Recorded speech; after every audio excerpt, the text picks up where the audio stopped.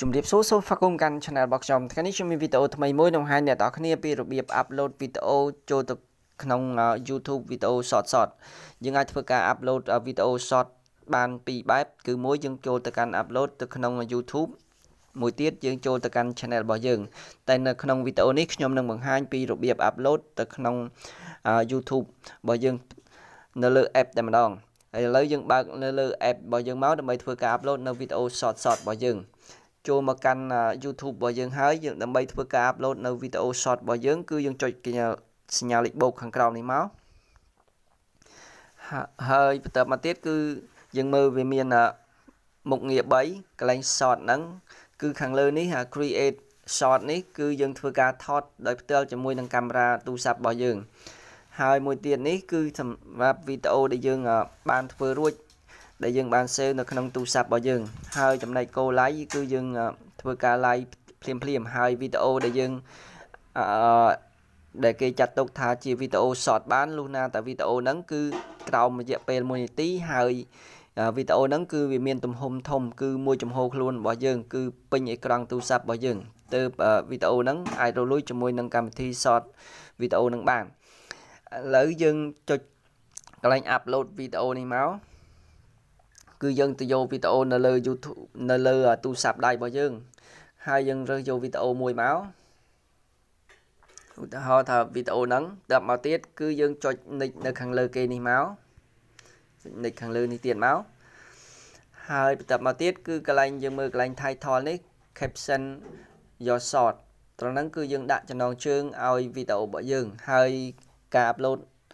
នៅវីដេអូ short របស់យើង ការដាក់ចំណងជើង គឺយើងដាក់ ឲ្យខ្លីកុំដាក់វែងវីដេអូរបស់យើងក៏ខ្លីដែរគឺក្រោម1នាទីចូលកន្លែង caption your short ហ្នឹងគឺយើងដាក់សញ្ញាត្រង់ជ្រូកមកតែមកយើងសរសេរ short យើងសេសតមកហើយបន្ទាប់មកយើងដាក់ត្រង់ជ្រូក2ទៀតមក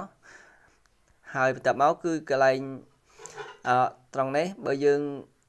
ឃើញវាដាក់ private ឬក៏ unlist គឺយើងត្រូវធ្វើការជ្រើសរើសយក public គឺយើងចុច កន្លែងព្រួយនេះមក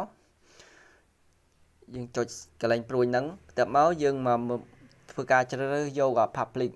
បើយើងឃើញ public ចឹងហើយយើងថយមកវិញមកហើយបន្ទាប់មកទៀតយើងមើលខាងក្រោមយើងមើលខាងក្រោមគេ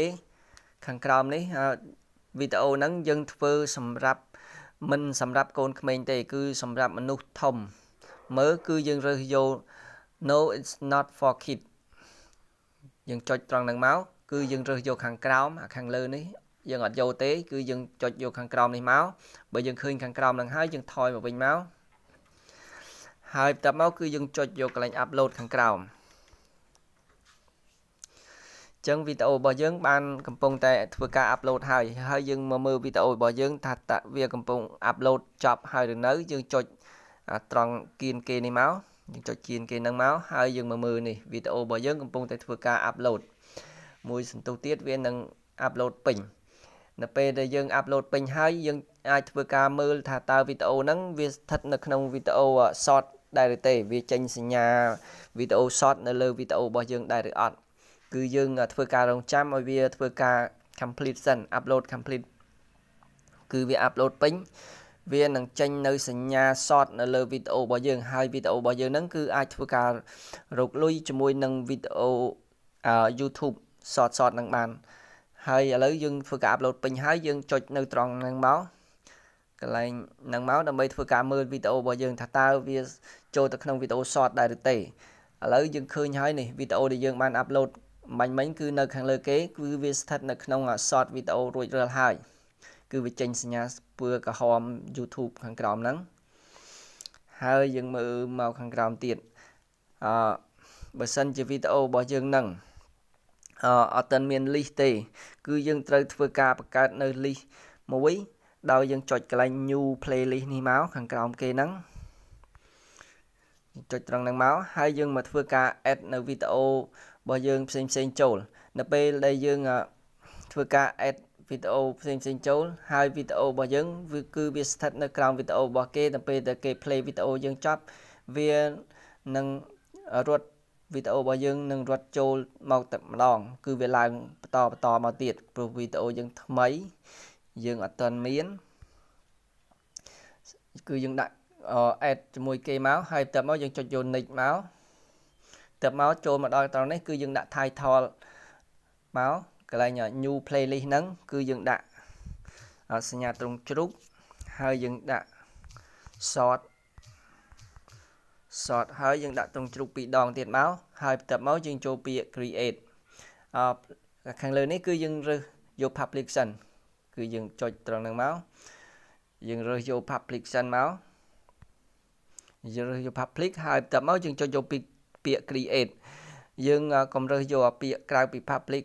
វានាំឲ្យវីដេអូរបស់យើងហ្នឹងវាអត់ហោះជាសាធារណៈវាអត់ឃើញសាធារណៈហើយយើងចុចយកពាក្យ create ហ្នឹងមកអញ្ចឹងវីដេអូរបស់យើងគឺវាស្ថិតនៅក្នុង playlist ជាសាធារណៈជា public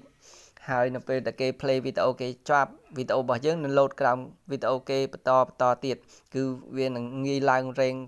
លឿននឹងអាចរកលុយបានឆាប់ឆាប់អញ្ចឹងវីដេអូនៃការបង្ហាញពីរបៀប upload វីដេអូ short ចូលទៅក្នុង YouTube សម្រាប់ធ្វើការរកលុយគឺសូមចាប់ត្រឹមនឹងសូមអ្នកទាំងអស់គ្នាចូលរួមចុចអក្សរ Subscribe និង Like នៅក្រោមវីដេអូនេះផងសូមអរគុណ